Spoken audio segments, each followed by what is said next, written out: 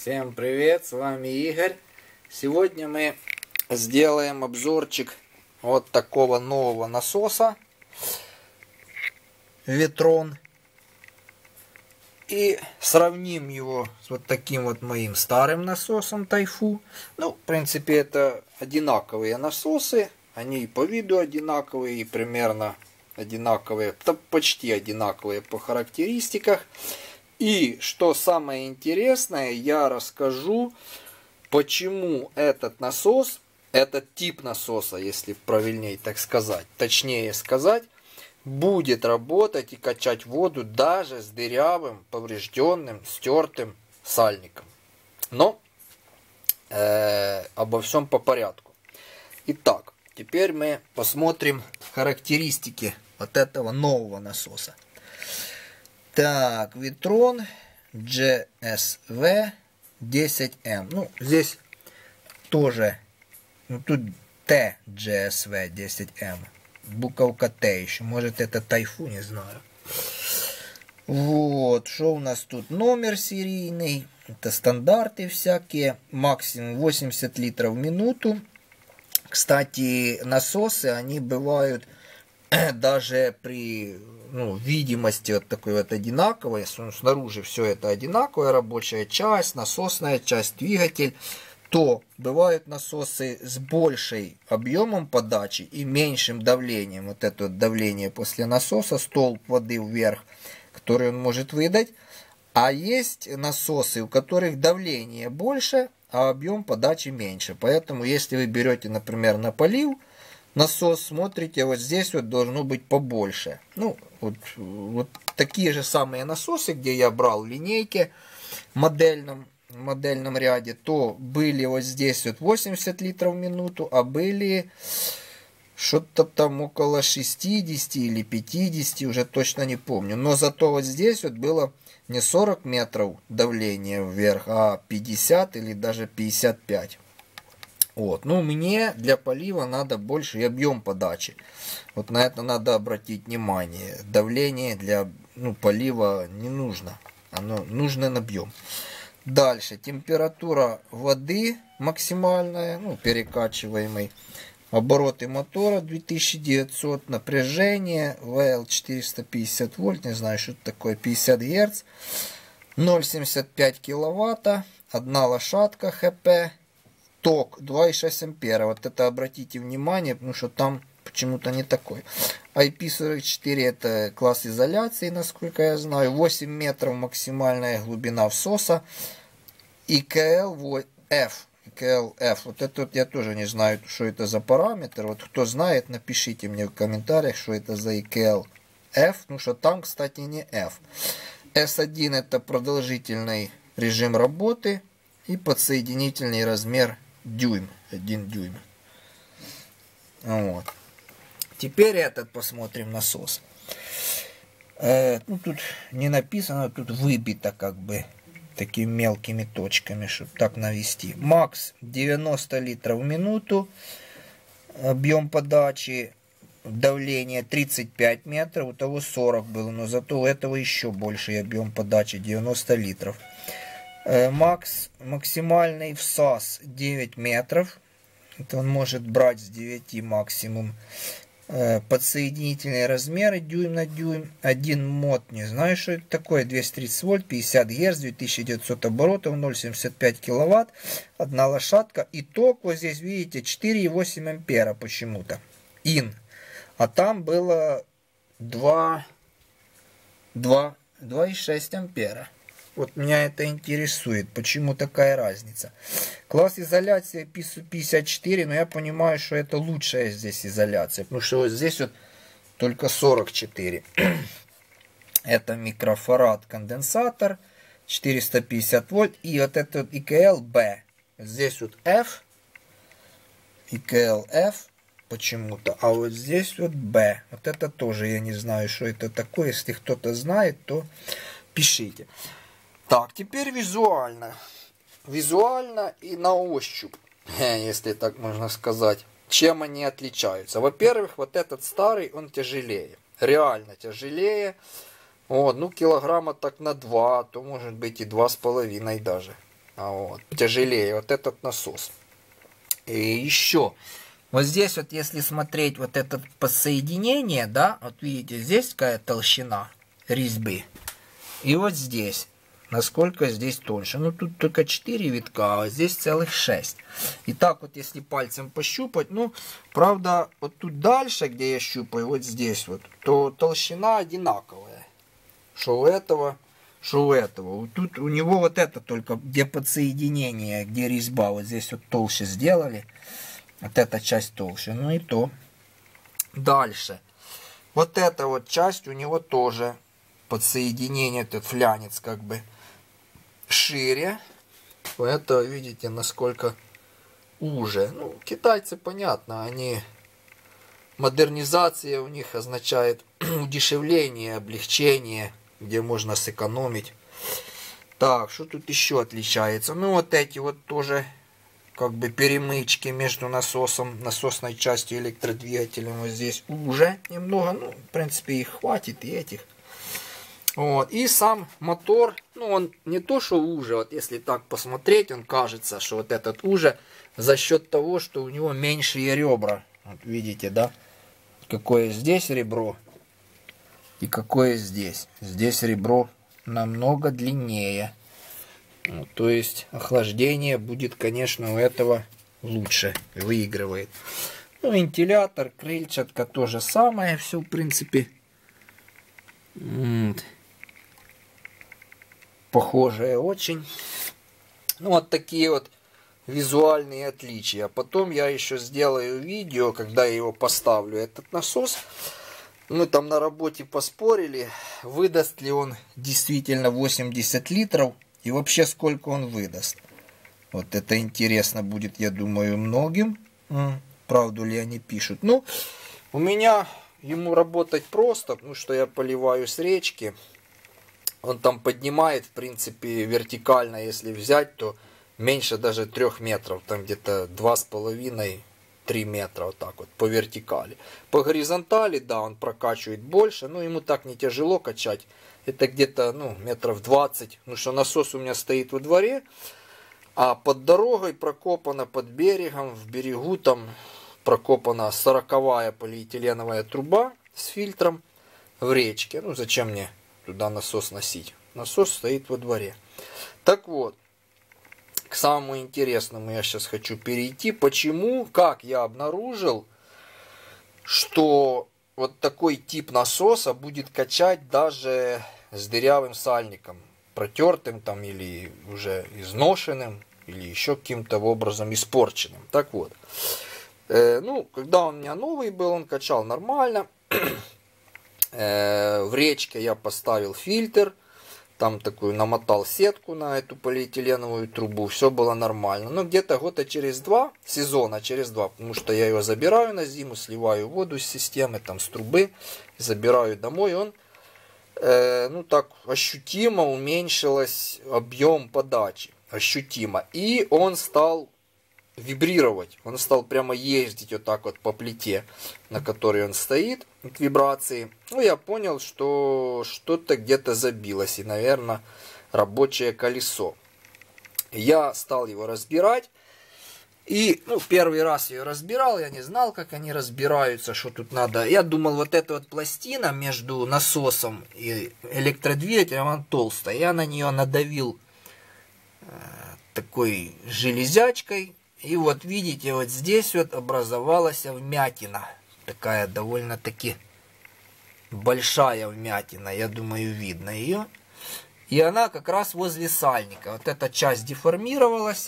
Ну и потянула за собой сальник. Сальник стал не герметичный. Я его разобрал. Вот, стал искать причину. Вот это меня, кстати, расстроило, то, что я сальник повредил и думал, что он уже качать не будет. Но, когда я ее разобрал, э, потом выковырял с рабочего колеса э, вот такую вот жмень улиток, вот, маленьких, больших, даже такие были, как вот ноготь, вот такие вот размером. Ну и там получается, что они вход в рабочее колесо толстый, вот такой вот круглый, А выход с рабочего колеса это такая узенькая щель по всему периметру э, колеса рабочего, ну такая, ну миллиметра три может быть, очень узкая. И получается оно как бы клином там, все, что туда попадает, больше, толще вот этой щели и не может оттуда вылить, оно просто клином там забивается. И у меня э, там из всего этого рабочего колеса примерно там было оно поделено на 4 или 5 сегментов. Одно было часть вообще забита улитками, одна наполовину забита была. Ну, короче, поэтому ну, пол колеса практически не работало. Поэтому он и стал вибрировать, ездить по бетонной плите. Раздолбались подшипники. Вот, и он стал очень шумно работать, прямо визжать так после того, как я его собрал. Ну, я, короче, прочистил это э, колесо рабочее, собрал все. О, но я даже не надеялся, что он будет качать и работать, ну что там заметно даже было видно невооруженным взглядом, что сальник поврежден. Даже место под сальник, оно так искривилось немного. Я думал, он работать не будет.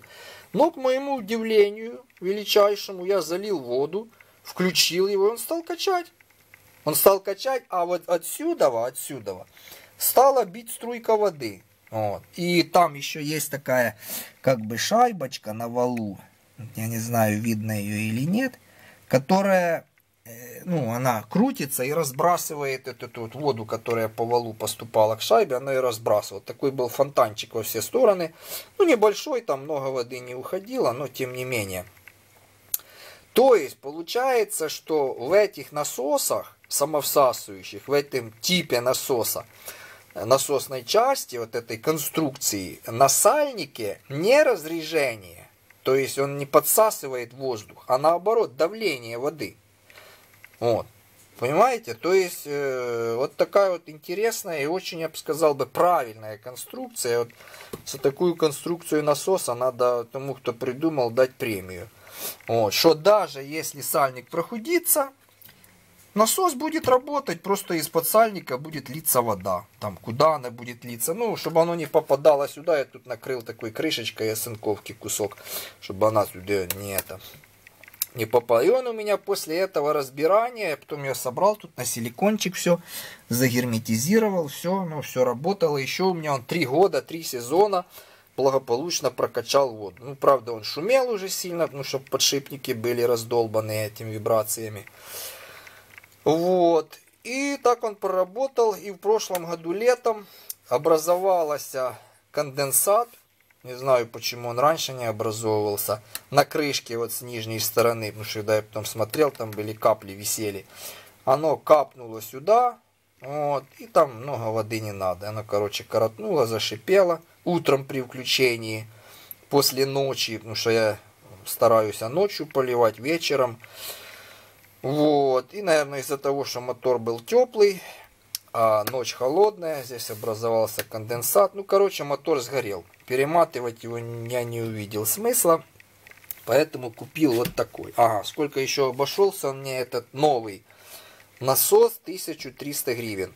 Вот. Если кому-то это интересно, кто-то думает покупать. Это даже с доставкой. Там акции сейчас в связи с этой пандемией. Вот, и они мне даже бесплатно прислали из Харькова. Да, по-моему, из Харькова. Вот, вот такой вот насосик. Поэтому я взял такой же самый.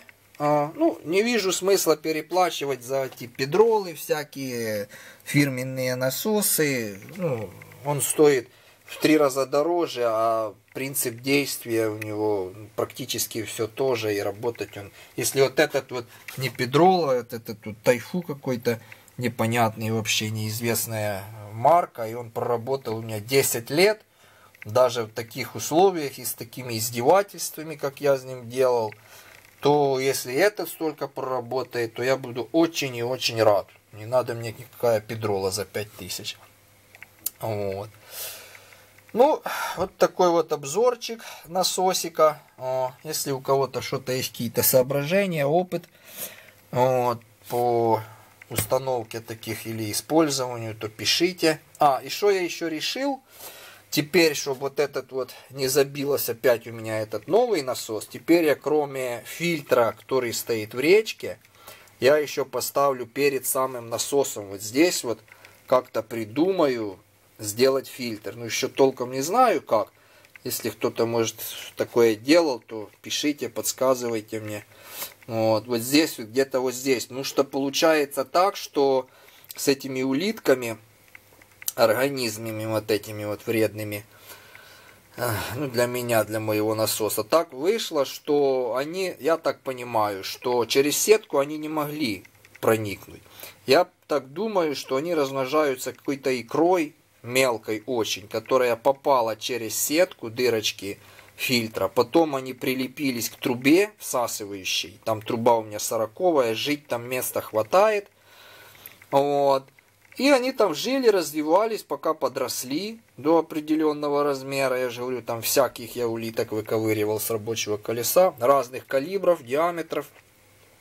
Потом они оторвались, ну это я так думаю, от этой трубы и засосались в насос. Вот. Ну вот это единственное у меня пояснение есть, откуда они взялись в рабочем колесе мотора. Больше так я не знаю. Поэтому, если будете поливать с речки, делать, устанавливать водоема какого-нибудь ставка открытого о, с улитками и со всякими, обязательно поставьте даже перед самым насосом фильтр, о, чтобы вам потом ее не пришлось разбирать, чистить вот, и избежать многих-многих проблем.